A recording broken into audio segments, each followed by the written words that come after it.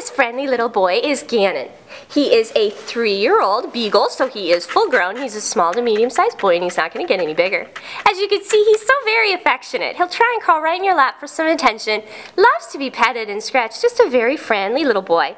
He does have that typical beagle personality though, loves to be outside and smell and sniff and explore everything and will even talk to you and tell you what's going on. So he's definitely looking for a home that can both spend some time playing with him, but definitely also spend some time outside letting him smell and sniff everything.